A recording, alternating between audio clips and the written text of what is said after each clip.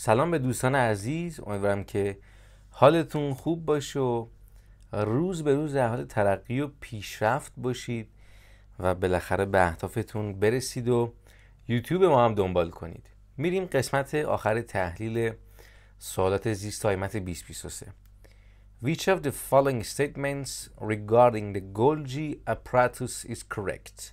داریم کدام یکی از بیانی های زیر با توجه به دستگاه گلجی صحیحه این ریگاردینگ جانی با توجه هستش با در نظر گرفتن دستگاه گلجی. می‌بینید چقدر تیپ سوالات شبیه Which of the following statements. جمله بندی ها خیلی شبیه. به خاطر این حتما باید شما دانش زبانیتون به یه حدی برسه تا سوالات رو جواب بدید. خیلی از بچه ها مشکلشون تو قسمت زبانه. The Golgi apparatus processes and packages proteins to be exported from the cell. در می دستگاه گلجی پردازش می‌کنه و بسته بندی می‌کنه پروتئینا رو برای اینکه خارج بکنه یا خارج بشن از سلول که خب اصلا این کاملا درسته. ببینید پروتئین هایی که شبکه آندروپلاسمی زبر دچار فرایند budding جوانه زدن می‌شد و وارد Golgi می‌شد. بعد از Golgi باز دوباره bud off می‌شد. جوانه می‌زد چهار تا سرنوشت داشت. این چهار تا سرنوشت چی بود؟ یا این پروتئین می‌رفت توی واکوئل یعنی پروتئین واکوئلی بود؟ یا این پروتئین پروتئین لیزوزومی بود؟ یا این پروتئین می‌رفت تو غشا؟ پروتئین غشایی بود مثل channel مثل پمپ مثل گیرنده ها یا این پروتئین خارج می‌شد exocytosis می‌شد. exocytosis که اینجا وقتی رو میگه exported from the cell همون فرآیند اگزوسیتوز منظورشه که خب بله می‌دونیم توسط Golgi این کار انجام می‌شد و این کاملا جمله درستی هستش. export این در واقع صادر کردن ایمپورت یعنی وارد کردن. B The Golgi apparatus processes lipid molecules as they enter the cell. یعنی دستگاه گلژی پردازش می‌کنه. اون لیپید مولکولای لیپیدی که حالا به محض اینکه وارد سلول میشن. خب این غلطه. درسته که دستگاه گلژی تو ساخت در واقع لیپوپروتئین نقش داره. ولی لیپیدی که تو خود سلول هست رو میاد به پروتئین اضافه می‌کنه و لیپوپروتئین می‌سازه. به این صورت نیستش که در واقع لیپیدی که بیرون اومده رو بیاد process کنه. یعنی اینجا از the اینترسلش کار خراب کرد؟ لیپیدایی که مثلا شبکه آندوپلاسمی صاف اومده SER اومده. لیپیدایی که از SER اومده رو ببخشید آه واسه شد قدم. لیپیدایی که در واقع از SER اومده رو به پروتئین اضافه می‌کنه به اون پروتئینایی که از RER اومده بود و در واقع لیپوپروتئین میاد می‌سازه. نه لیپیدایی که به سلول وارد میشه. لیپیدای خود سلول رو. این هم ایراد داره میگه before exciting the cell the proteins pack, uh, packaged in the Golgi apparatus are transported to the nucleus for translation verification. در میگه قبل از خروج از سلول پروتئینی که پک بندی شده دستگاه گلجی منتقل میشه به هسته برای به اصطلاح تاییدیه اون ترجمه و به اصطلاح اینا. خب این کاملا غلطه. این چهار تا سرنوشتی که ما اینجا داشتیم هیچ کدومش هسته نبود. اصولا ریبوزوم ها ببینید دو مدلن. ما ریبوزوم هایی که داریم یا ریبوزوم های در واقع فری آزاد هستن یا ریبوزوم های متصل به شبکه آندروپلاسمی زبرن. حالا ریبوزوم های فری ریبوزوم های فری هم آزادا که به چیزی اتصال ندارن پروتئینی که می‌زدن چهار تا سرنوشت داره یا میاد میره تو هسته. نوکلوس یا میاد میره تو همون سیتوپلاسمی که هست میمونه. همونجا میمونه. سایتوپلازم. یا میاد میره تو اندامکایی مثل میتوکندری مثل کلوروپلاست. وارد اینا میشه پس در نتیجه میتوکندری و کلوروپلاست هر پروتئینی که شما داخلش می‌بینید توسط خودی ساخته نشه توسط ریبوزوم آزاد می‌تونه ساخته بشه. ولی ریبوزوم های متصل به RER یا rough endoplasmic reticulum پروتئینی که می‌سازه از rough endoplasmic reticulum وارد Golgi میشه بعدش همین چهار تا سرنوشت. در تو Golgi داره صحبت می‌کنه و اینجا داره nucleus رو میگه که خب ما ریبوزوم آزاده نه اون ریبوزوم. بعدم اصلا translation که داخل هسته نیستش translation ترجمه داخل cytoplasm هستش. اینم یه ایراد دیگه. D. Lysosomes digest the vesicles released from the Golgi apparatus so the proteins can be released from the cell. در میگه لیزوزوم هضم می‌کنه یا گوارش می‌کنه وزیکل هایی که آزاد میشه از Golgi و از دستگاه Golgi. نه. اتفاقا چرا لیزوزوم میاد digest می‌کنه؟ چون آنزیمایی داره تحت عنوان hydrolytic hydrolytic enzyme آنزیم های هیدرولیز کننده. این hydrolytic enzyme شامل آمیلاز، پروتاز، لیپاز و اینا میشه. خب اینا از کجا آمدن این آنزیم های پروتئینی؟ اینا از گلژی اومدن. پس اتفاقا خود لیزوزوم آنزیمایی که داره چون پروتئینیان این آنزیما از گلژی اومدن. نه اینکه به اصطلاح لیزوزوم بیاد وزیکلی که از دستگاه گلژی آزاد شده رو بیاد دایجست کنه. اتفاقا این وزیکل خودش حاوی آنزیمای دایجست کننده است که میاد برای لیزوزوم مثل پیک میمونه. یه پیکی که این آنزیما رو میاد تحویل لیزوزوم میده. نه اینکه خود این پیک بیاد تجزیه بشه. این از این مورد. بعد میگه بنابراین پروتئین ها می‌تونن آزاد بشن از سلول. آقا پروتئینی که در سلول آزاد میشه exocytosis ه. اصلا یک فرآیند دیگه یه ربطی به لیزوزوم نداره. غلط اندر غلط. مورد E. There is no Golgi apparatus in neuronal cells. داره میگه هیچ دستگاه گلجی توی سلای عصبی نیستش که خب این غلط یوکاریوت ها دستگاه گلجی دارن به جز گلبول قرمز بالغ سلایی که مثلا محتویاتشون رو دست دادن مثل گلبول قرمز بالغ تو انسان گلجی نداره. بقیهشون داره حالا من اینجا این جزوه هم که به بچه ها درس دادم برای 2023 اتفاقا دارم. همینجا الان بهتون نشون میدم. این هسته بود کشیده بودم. که اینجا این شبکه آندوپلاسمی زبر هستش هم در واقع دستگاه Golgi هستش. ببینید این ریبوزومه پروتئینی که اینجا ساخته پروتئین اومده وارد شبکه اندوپلاسمی زبر شده اینجا. بعد اینجا دچار فرایند budding جوانه زدن شده به صورت وزیکل خارج شده. بعد این وزیکل اومده fuse شده به دستگاه Golgi وارد دستگاه Golgi شده. حالا ممکنه دستگاه Golgi بیاد به این پروتئینه نمی‌دونم لیپید اضافه کنه مثلا لیپوپروتئین بسازه. ممکنه بیاد به این نمی‌دونم قند اضافه کنه glycoprotein بسازه. و بعد باز دوباره این وزیکله جوانه زده از این قسمت به اصطلاح دستگاه Golgi که خود این چهار تا سرنوشتش هم که بهتون گفتم. یا رفته تو واکوئل رفته توی لیزوزوم یا در واقع exocytosis شده اومده بیرون یا رفته توی غشا اینطوری قرار گرفته. دستگاه Golgi هم حواستون باشه. به این کیساش میگیم cisterna که این cisterna ش به هم راه نداره. برخلاف شبکه اندوپلاسمی زبر. این از این نکته این face دستگاه Golgi این قسمتش که نزدیک در واقع RER هست و بهش میگیم cis face همون سطحی که ریسکیسه بهش وارد میشه وزیکل بهش وارد میشه. این سطحی هم که ریزکیسه میاد بیرون خارج میشه بهش میگیم trans face. این هم جمع‌بندی ریزی از دستگاه Golgi بود اینجا گفتم خدمتتون. اعلام کنم. اما 25 ببخشید 29 In which reactions of glycolysis are isomerase enzymes involved? خب شد میشه گفت تنها سوالی که واقعا تو سطح آزمون آیمت نبوده. واقعا تو سطح آزمون آیمت نبوده. این سوال یک سوال بایوکیمیستری هستش. بایوکمیستری اونم بایوکمیستری مثلا دبیرستانی نه بایوکمیستری دانشگاهی. یعنی مثلا شما تو بیوشیمی یک حالا ما تو ایران نه تو بیوشیمی دو خونده بودیم. تو بیوشیمی دو دانشگاه خونده بودیم. و تو بیوشیمی پزشکی هم شما اینو می‌خونید. که آنزیمای glycolysis چیه؟ مثلا آنزیم اول هگزوکیناز گلوکوکیناز اینا هستش و فلان. شما گلیکولیز رو تو سطح کمبریج و IMAT در حد 4 5 مرحله می‌خونید فوقش. ولی خب خود glycolysis در سطح دانشگاهیش 10 مرحله است که این 10 مرحلهش همش آنزیمای مختلفی داره. اولیش آنزیمیه دومیش آنزیمیه سومیش آنزیمیه. ولی خب سطح دانشگاهی من خیلی تعجب کردم این سوال رو دیدم. خیلی سوال عجیبی بود. حالا من یه جنبندی اینجا براتون این قسمت رو می‌کنم. به خاطر اینه که من وقتی میام به بچه هم تدریس می‌کنم یا آقا آدم آزمون آیمت رو یکم در سطح المپیادی بخونه بهتره.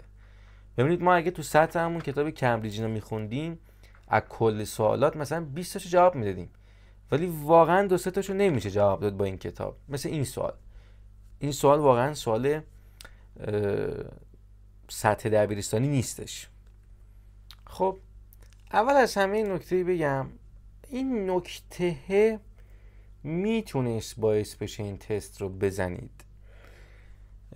اون هم اینه که داره میگه که تو کدوم یکی از واکنش های در واقع گلیکولیز آنزیمای ایزومراز نقش دارن. ایزومر یعنی چی؟ ایزومر یعنی اینه که فرمول مولکولیش یکسانه ولی فرمول ساختاریش متفاوته. مثلا گالاکتوز عرض کردم خدمت شما فروکتوز گلوکوز همه 3 6 8 12 و 6 هن. ولی خب ساختار مولکولیش هم متفاوت. حالا ایزومراز رو ببینید اسمشو. ایزومراز. آز که داره میگه آنزیم. ایزومراز. یعنی آنزیمی که انگار یه چیزی رو به ایزومرش تبدیل می‌کنه. خب اینجا شما گزنک نها کن. گلوکوز 6 فسفاته شده فروکتوز 6 فسفاته. آقا جفتشون که 6 فسفاته دارن. اوکی. اصلا فرض کنیم 6 فسفاته نمیشه گلوکوز فروکتوز. آقا گلوکوز و فروکتوز ایزومرن دیگه. جواب گزینه یک. جواب گزینه یک. به همین راحتی. ولی اگه بخوایم آنزیما رو با هم بررسی کنیم اینجا براتون آوردم. Steps of glycolysis. اول از همه ما گلوکوز داریم. گلوکوز میاد میشه گلوکوز 6 phosphate توسط آنزیم هگزوکیناز. گلوکوز 6 phosphate یا 6 فسفاته میشه فروکتوز 6 فسفاته توسط آنزیم فسفوگلوکوز ایزومراز. اینها. این همون آنزیم ایزومرازه که توی دومین مرحله glycolysis در واقع نقش داره. بعد فروکتوز 6 phosphate تبدیل میشه فروکتوز یک 6 20 فسفیت توسط آنزیم فسفو فروکتوکیناز بعد در واقع هر شود خدمت شما که حالا این مراحل بعدیش دیگه اونقدر معمولا بررسی نمیشه. این آنزیماش کمتر مهمه. آنزیم آخرش هم مهمه که در واقع یک ترکیبی داریم به نام فسفو انول پیروویت که تبدیل شه به پیروویت توسط آنزیم پیروویت کیناز. مثلا شما اینو تو بیوشیمی دانشگاه می‌خونید آقا این آنزیما اینه. هر کدوم این داره این آنزیما داره انجام میده. تعجب داشت که اینو می‌خواست. ولی خب اسم آنزیم داد ایزومراز ایزومر. گلوکوز و فروکتوز ایزومر هندی خب تو مرحله بعدیش قاعدتا نیست دیگه. مشخصه دیگه. اینجا وقتی با هم دیدیم تو مرحله دو بوده پس تو مرحله دیگه نیستش که تو مرحله بعدی آنزیمای دیگه در واقع نقش دارن. سوال سی Given the polynucleotide sequence RUGCCGC can you tell which is the 5' end? میگه با توجه به این توالی پولینوکلئوتیدی داده شده داده شده IUGCCGC آیا شما می‌تونید بگید که 5 فریم کجاست؟ خب ببینید. اولا که این داره میگه IUGCCGC خب این مربوط به آرنه چون بازالی یوراسیل دارید شما می‌بینید. خب این مربوط به آرنه هستش. اینجا می نیستم IUGCCGC میگه می‌تونید بگید 5 پریم کجاست خیر نمی‌تونیم بگیم. نمی‌تونیم بگیم. شاید شما بگی آقا چرا دیگه 5 پریم اینجا 3 پریم اینجاست دیگه؟ الان تو mRNA ما میگیم 5 پریم. این وره 3 پریم این وره جهت ترجمه هم از 5 پریم به 3 پریم translation دیگه. پس می‌تونیم بگیم. نه بچه ها نمی‌تونیم بگید چرا؟ اولا که کی گفته که این RNA هستش؟ بله اگه RNA باشه شما میگید خب اینجا این AUG کدون آغاز start codon ه و سمت چپ start codon باید 5 پریم باشه. اون تهش هم معمولا توالی پایان قرار می‌گیره stop codon قرار می‌گیره. اونجا هم باید 3 پرایم باشه. ولی خب کی گفته لزوما این ام ای ممکنه این توالی برای تی ای باشه. ممکنه این توالی برای آر ای باشه. اصلا برای ای دیگه باشه. و شما نمی‌تونید تشخیص بدی 5 پریم یا 3 پریمش کجاست. این در واقع از این نکته. خب پس گزینه رو بخونید no unless you know the position of the phosphate group you cannot differentiate, differentiate. The 3 prime end from the 5 prime end. میگه نه. تا هنگامی که شما موقعیت گروه فسفات ندارید نمی‌تونید تمایز بدید بین 3 پریم و 5 پریم کاملا درسته دیگه. نکنید یه نوکلئوتید براتون می‌کشم. این نوکلئوتید. اینجا که می‌دونید باز قرار می‌گیره. اینجا هم که خب فسفیت قرار می‌گیره. همون پی 4 قرار می‌گیره. نکنید ما کربن رو اینجا شماره گذاری می‌کنیم. اینو میگیم کربن شماره یک اینو میگیم کربن شماره دو اینو میگیم کربن شماره سه اینو میگیم کربن شماره چهار. یه کربنی هم خارج حلقه اینجا هستش این مدلی که اصلا این خمیدگی ایجاد می‌کنه. بذارید اون خمیدگی هم براتون بکشم. اینطوری. اینم پی و چهار. یه خمیدگی اینطوری ایجاد می‌کنه. آه, آه. به این حالت. و این هم میشه کربن شماره پنج که خارج حلقه است. Out of ring هستش. به کربن شماره سه من OH وصله. به کربن شماره دو من اگر این قند قند ریبوز باشه OH وصله. اگه قند قند اکسی ریبوز باشه اکسی ریبوز باشه H وصله. خاطر این می‌گفتیم اکسی ریبوز یه, دونه O کمتر داره اینجا H دیگه بالای OH خب آقا تا شما موقعیت فسفاتو یا OH رو ندونی نمی‌تونی بفهمی کدوم سپریم یا 5 پریم. چرا؟ چون ما به خاطر این میگیم سپریم. سپریم یعنی نوکلئوتیدی که داریم انتهای OH رو تصور می‌کنیم. 5 پریم یعنی نوکلئوتیدی که فسفاتش آزاده. اینو میگیم 5 پریم. مثلا اینجا براتون مولکول دی ای بکشم.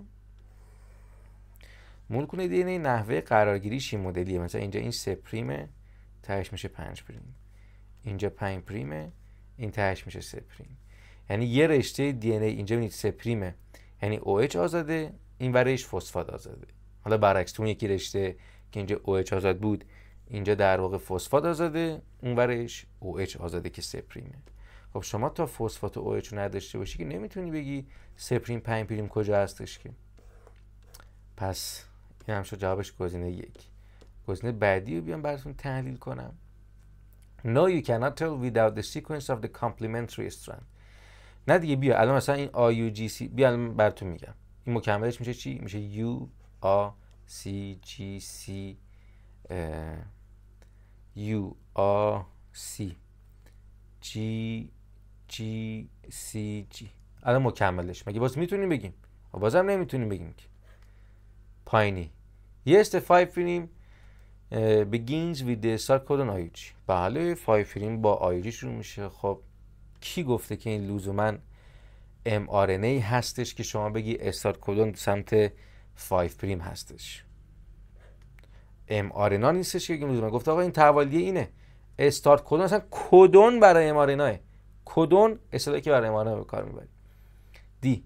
There is no differentiate between نه دیگه کی میگه بین 3 پریم و 5 پریم تفاوتی نی؟ 3 پریم اون قسمتی که OH وله 5 پریم اون قسمتی که فسفات وصله به ای Counting the number of hydrogen bonds between the nitrogenous bases provides sufficient information to determine the 5 end. در میگه شمارش تعداد پیوندهای هیدروژنی بین بازهای عالی نیتروژن اطلاعات کافی میده برای اینکه بفهمیم 5 پریم کدومه. آقا خب این دیگه خیلی مسخره است دیگه. پیوند هیدروژنی بین بازا چطوری می‌تونه بیاد به شما بگی که این انتهای 3 پریمه این انتهای 5 پریمه چه ربطی داره است؟ این هم در واقع رد شد. من این رو پاک کنم سوال 31 رو با هم بررسی کنیم. خب. سوال 31 سوال یکی مونده با آخرمونه فکر کنم. اگه اشتباه نکنم. خب. 31 رنگم عوض کنیم کمی تنوع بشه Which statement or set of statements about oxidative phosphorylation is correct? داریم یک کدام یک از بیانیه یا مجموعی از بیانیه ها یا جملات در رابطه با فرایند oxidative phosphorylation درست. اول ببینیم این چی هست. خب براتون شکلش آوردم. ببینید oxidative phosphorylation همین فرآیند زنجیره انتقال الکترونه که در نهایت الکترون به اکسیژن می‌رسید و اکسیژن کاهش پیدا می‌کرد با هیدروژن ترکیب می‌شد و آب تولید می‌شد. این در واقع غشای خارجی میتوکندریه که غشای خارجیش گفتیم smooth یا صاف هستش. این غشای داخلیش یا inner هستش که گفتیم folded هستش. خب اینجا ما چند تا complex داریم. complex یک complex دو complex سه و complex چهار. یه پروتئین هم بین اینا هستش که میگیم پروتئین های cytochrome. cytochrome اینا cytochrome هستش حالا اینجا نکشیده. این هم complex چهار این هم complex پنج. بریم ببینیم هر کدوم این complex که میگیم چیه. بچه این complex یک خب پمپ هاش مثبته. هیدروژن رو اینطوری داره میندازه بیرون. complex دو کاری که انجام میده اینه که succinate رو به fumarate تبدیل می‌کنه. حالا این دیگه برای شما نیست. اینم میگم. این سوالم از سوالای خیلی بد قلقش بود. چون اصلا شما complex هایی که کمبریج می‌خونید این مدلی انقدر با جزئیات گفته نشده. succinate رو به fumarate تبدیل می‌کنه. حالا succinate که به fumarate داره تبدیل میشه که واکنش های چرخه در واقع کربس هستش. این هم باز دوباره خارج از مبحثه. اینجا ما complex 3 رو مشاهده می‌کنید. complex 3 باز دوباره یک پمپ هیدروژنه که هاش مثبت رو میفرسته تو فضای بین دو غشا یعنی intermembrane space اینجا هم که باز این cytochrome مشاهده می‌کنید. cytochrome اگه باشه الکترون رو از complex ها می‌گرفت. مثلا complex 3 میریم به 4 complex 4 هم باز دوباره یک پمپ هاش مثبت هستش و آخرین complex ما هستش که در مجاورت اینجا و توی ماتریکس این داخل می‌بینید آب تولید میشه. یعنی الکترون از این میاد به این این میاد به این این میاد به این در نهایت الکترون میاد به اکسیژن می‌رسه و با هاش مثبت ترکیب میشه و اینجا آب تولید میشه. یعنی در مجاورت complex 4 داره آب تولید میشه. این cytochrome هم که گفتم دیگه این الکترون این می‌گیره به این. اینم می‌گیره به اکسیژن. یا مثلا از این می‌گیره به این. اینجا ما یه سری سایتوکروم داریم که حالا اینجا اشاره بهش نکرده. اما کامپلکس V یا کامپلکس 5 همون آنزیم ATP سازه. که هاش مثبت ها رو بر اساس انتشار تسهیل شده میاره داخل و وقتی که باز دوباره میره داخل توی ماتریکس این هاش مثبت که میاد داخل این سر اینو میچرخونه و سر این به چرخه ATP تولید میشه. به چه صورت؟ به این صورت که این فسفات ها رو می‌گیره میچسبونه به ADP و ATP تولید میشه. این نحوه عمل آنزیم ATP ساز هستش. این پمپ ها یعنی کامپلکس یک و کامپلکس حالا سه و چهار حالا دو رو بعضی جا حالت پمپی براش میگن بعضی جا نمی‌گیرن. این پمپ ها چون پمپن انتقال فعال یا active transport انجام میدن ولی active transport شون ATP مصرف نمی‌کنه. از همین الکترونی که تو این زنجیره داره منتقل میشه از انرژی اون الکترونه استفاده می‌کنه. مثلا اگه اینجا ما الکترونمون 100 درصد انرژی داشته باشه وقتی کامپلکس دو رسید میشه 90 درصد. چرا؟ چون 10 درصدش این کامپلکس یک استفاده کرده برای انتقال هاش مثبت. حالا کامپلکس دو باز میاد نمی‌دونم یه 20 درصد دیگر استفاده می‌کنه از انرژی. این الکترونه خسته تر و خسته تر میشه تا به کامپلکس 4 الکترونی که می‌رسه. واقعا انرژیش نسبت بقیه کمتره چون همه اینا یه مقدار از انرژی الکترونه رو استفاده کردن که این هاش مثبت رو به فضای بین دو غشا پمپ کنن. پس اینجا هاش مثبت داره مقدار زیاد میشه. زیاد هستش که داریم پمپ می‌کنیم. یعنی جایی که low concentration داریم بریم به جایی که high concentration داریم. و اگر هم یادتون باشه در نواحی این کامپلکس ها فرایند oxidation اکسایش رخ می‌داد. یعنی اینجا NADH اکسایش پیدا می‌کنه میشه NAD مثبت به اضافه الکترون که این الکترون است که تو این زنجیره اینطوری میچرخه. پس الکترونایی که داره اینجا میاد از NADH و FADH اومده که تو این مسیر حالا نقش تأمین انرژی رو دارن و در نهایت خودشون به اکسیژن می‌رسن. حالا چون اینجا هاش مثبت خیلی زیاد شده تو فضای بین دو قشا آنزیم ATP ساز با انتشار تحصیل شده اونا رو وارد می‌کنه. چون انتشار سادی نه؟ چون انتشار سادی مستقیم از قشاست اینجا ما داریم از پروتئین استفاده می‌کنیم تحصیل شده است. وقتی که آش مثبت میاد تو این سرچین پنکه میچرخه وقتی میچرخه فسفات رو به ATP وصل می‌کنه و فسفات رو به ATP وصل می‌کنه و داخل این ماتریکس ATP ساخته میشه. که بیشترین میزان ATP هم این می‌سازه اگه اشاره نکنم بوده 28 تا ATP رو این می‌سازه این از این نکته. حالا به کل این فرایندها به کل این فرآیندی که انجام میشه میگیم oxidative phosphorylation آخرش phosphorylation این فسفات دار شدن که می‌بینیم فسفات می‌زنیم این ATP تولید میشه. اکسیدیتیو هم یعنی تو این فرآیند انگار فرآیند اکسایشی که خب می‌بینیم دیگه اینجا وقتی این داره اکسایش پیدا می‌کنه میشه این فرآیند اکسایشی هستش. این الکترون می‌گیره از دست میده میده به یکی. این می‌گیره از دست میده میده به یکی. سایتوکروم اینطوری اینا رو جابجا می‌کنه. خیلی نمی‌خوام دیگه وارد جزئیاتش بشم دیگه میشه بحث تدریس که می‌خوایم سوال تحلیل کنیم. خب میگه که complex one of the electron transport chain transfers electron from FADH to coenzyme Q. داریم یه کامپلکس یک زنجیره انتقال الکترون منتقل می‌کنه. الکترون ها رو از FADH2 به کوآنزیم Q. خب بریم ببینیم. آقا کامپلکس یک این بود. الکترون های NADH یعنی در واقع باعث الکترون های NADH رو می‌گیره. یعنی NADH اینجا اکسایش پیدا می‌کند و می‌شود NAD به اضافه الکترون. که کامپلکس یک اون الکترون رو می‌گیره میره به کوآنزیم یک نه کامپلکس دو. پس این در واقع موردی هستش که باگی داره ایراد داره این گزینه یک. گزینه دو.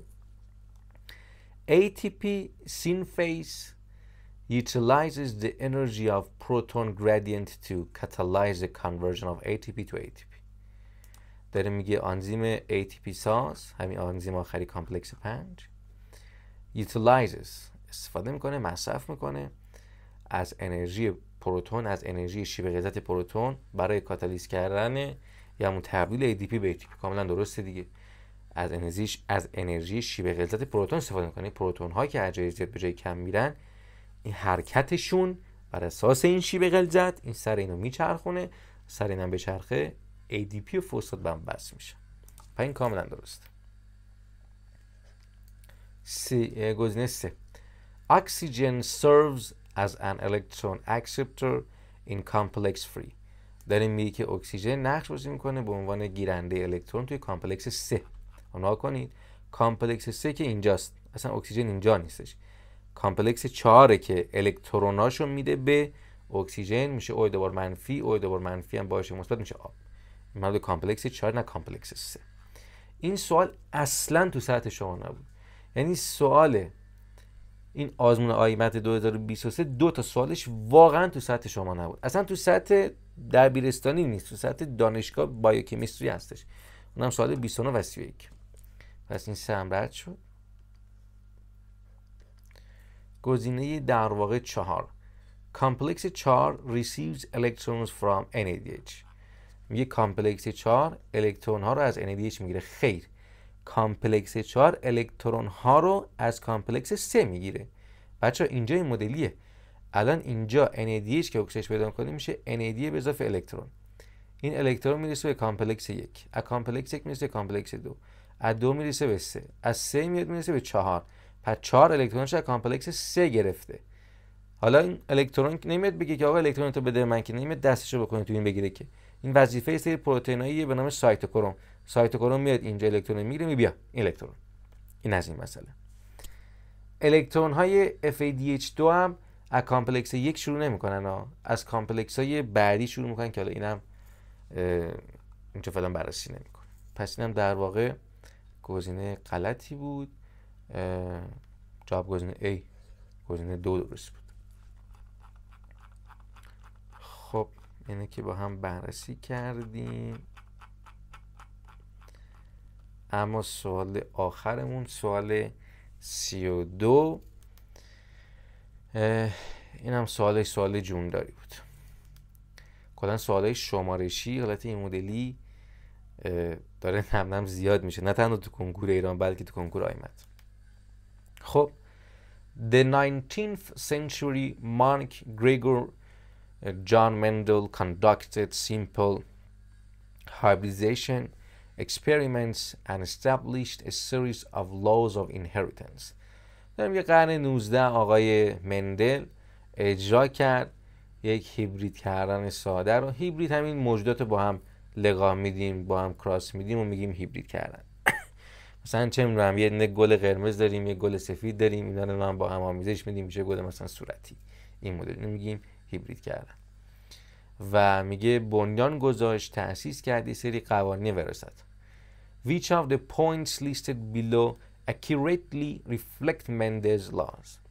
داریم یه کدام یک از این حالا چیزهایی که پایین لیست شده به طور دقیق داره منعکس می‌کنه قوانین مندل آقا کدوم در رابطه با قوانین به اصطلاح مندل درست. خب بریم بررسی کنیم.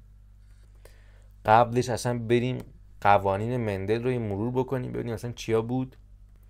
خب آقای مندل قوانین مختلفی رو تو ژنتیک معرفی کرد. سه تاش خیلی مهمه و این سه تا بررسی میشه. یکی law of dominance یعنی قانون قالبیت یا بارزیت. If the two alleles at the locus differ then one the dominant allele determines the organism's appearance. یعنی اگه دو تا الل توی جایگاه با هم فرق داشته باشن اون الل dominant ه که تعیین می‌کنه به اصطلاح فنوتیپ یک موجودی رو یعنی چی؟ یعنی شما الان توی جایگاه ژنی داری A بزرگ A کوچیک کدوم این دو تا الل میاد اثرشون می‌ذاره؟ خب A بزرگ چون dominant این رسسیو رسسیو اثر نداره. ترجمه رو نویسی صورت نمی‌گیره. علل خاموشیه به ناصر دامیننس ازش رو نویسی ترجمه صورت می‌گیره. باعث صفت میشه. خب این میگیم قانون دامیننس.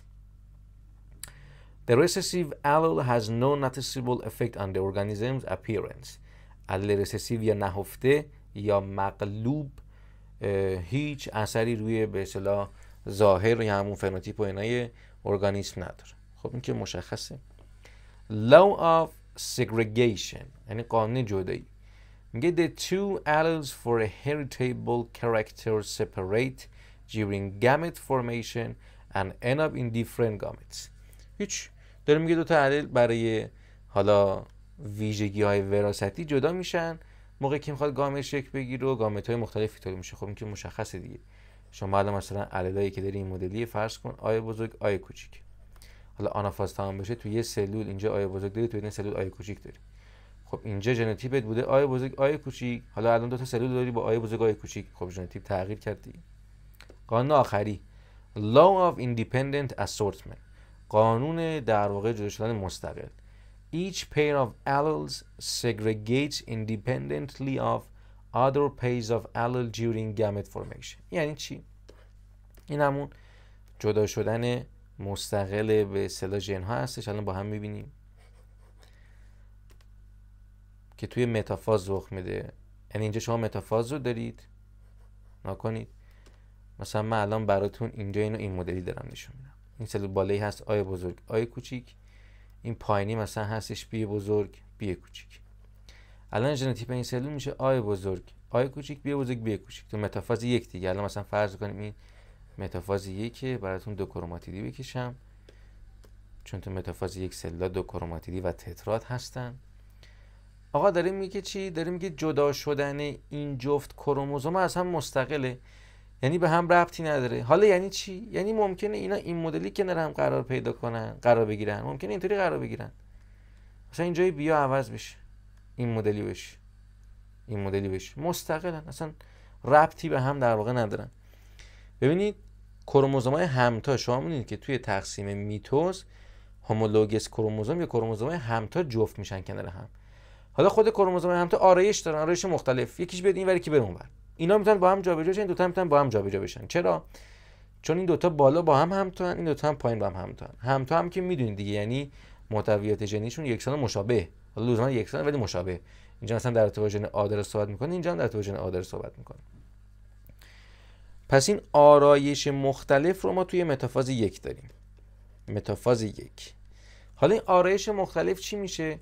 باعث میشه که گامت های جدیدی تولید بشه. مثلا اینجا الان سلول حاصل من گامتی که میده آی بزرگ بی بزرگ این گامتی که میده A کوچیک B کوچیک هستش در نهایت. چراشو احتمالا میوز بلدید می‌دونید دیگه. ولی اینجا من اگه بیام آرایش رو تغییر بدم این مدلی باشه این گامتی که میده میشه A بزرگ B کوچیک و A کوچیک B بزرگ. پس یه آرایش منجر شد که گامت ها تنوع پیدا کنن. این هم همون در واقع law of independent assortment میگیم. یعنی آقا این جدا شدن اینا ایندیپندنت در واقع مستقله. اینطوری نیستش که مثلا لزوما بگیم آ با بی جدا میشه. نه ممکنه آ با بی کوچیک جدا بشه. مستقل هستش. خب حالا بریم سمت سوالاتش. گزینه یک.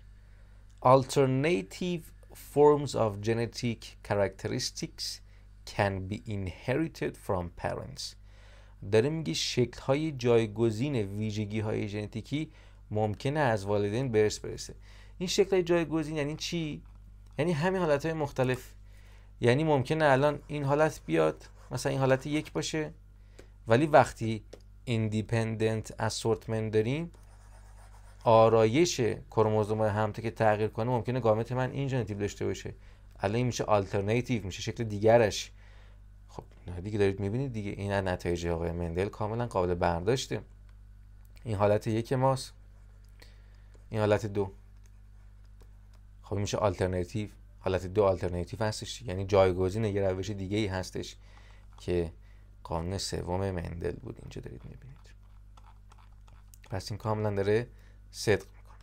دو specific heritable factors or traits are inherited independently of other heritable factor داره میگه فاکتورهای وراستی ویژه یا صفتهای منتقل میشن مستقل از فاکتورهای وراستی دیگر. خب همین قانون آخر law of independent assortment. اینجا در واقع جدایی رو مستقله. یعنی اینطوری نیستش که آبی به هم وابسته باشه. نه ممکنه آبا بی کوچیک بیاد آبا بی بزرگ بیاد. این آرایش ها آرایش هومولوگس کروموزوم یه آرایش تترات ها در واقع می‌تونه تنوع گامت ها رو تغییر بده. خب اینم که. سه. Gametes are created by random segregation. خب داریم که گامت ها تولید میشن با جدایی در واقع تصادفی این یعنی جدایی تصادفی خب اینجا هم داریم می‌بینیم حتی باز این هم همین قانون آخر داریم اینا کنید. اینجا جدایی تصادفی بوده. ممکنه این آ با بی اینطوری اینا برن توی قطب یا پایین جای بیا این مدلی باشه بی کوچیک اینور باشه اینا برن توی قطب.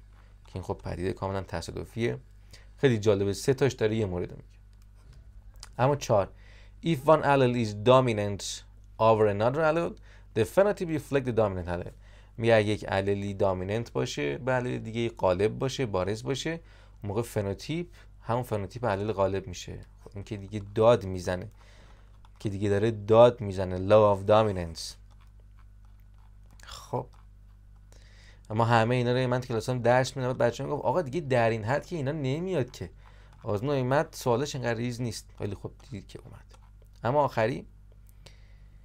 Individuals with heritable traits more suited to the environment will have an increased chance of survival. داره میگه افرادی با صفت های ژنتیکی با صفت های ژنتیکی به اصطلاح مناسب ترن برای محیط که در واقع شانس بقا رو بالا ببرن. اینطوری ترجمه کنم. افرادی که شانس بقا رو بالاتر می‌برن برای محیط صفت ژنتیکیشون مناسب تره سوتبل تره. خب این الان چرا هیچ کدوم از این قوانین نبود؟ الان هیچ کدوم از این قوانین مندل این نبود. خب این نیستش دیگه. یه بار دیگه براتون ترجمه کنم. اشخاصی با صفت های ژنتیکی با صفت های ژنتیکی مناسب تر با محیط شانس بقا منم بالاتر. آقا شانس بقا کدوم این در با بقا صحبت می‌کرد؟ هیچ کدومش هیچ کدوم. این قوانین نبود و پنج کار آقای مندل نبود. باز دوباره جواب گزینه یک. خسته نباشید. امیدوارم که براتون مفید بوده باشه. ما تقریبا تمام گزینه رو تحلیل کردیم. آیمت 2023 یک کوچولو فرمتش با آیمت قبلی فرق داشت. حتی فونت و نحوه سوالات. یکی سوال 32 سوال نسبتا جونداری بود. یکی در واقع میشه گفت خدمتون سوال 31 سوال در واقع 29 سوال 29 سوال 29 این چون سرکیدین گفته بود سوال 21 شد 4 تا سوال. همین. همین 4 تا سوال. یعنی آزمون آیمت 2023 کلا 4 تا سوال نسبتا دشواری داشت که نسبت به سال قبل عجیب تر بوده. فقط 4 تا سوالش. این 4 تا سوال هم حالا میگیم 3 تا سوالشون اون که کلا فقط باید معنی سیرکدیه رو می‌دونستید. همین. یعنی سه تاشو نمی‌شد زد. بقیهش عینا نکاتش تو آیمت های قبلی تکرار شده. لطفا لطفا آیمت ها بیمت ها هیومت ها سوال آلفا تست همه رو تحلیل کنید. چون می‌بینید همینطور داره تکرار میشه سوالات. خسته نباشید.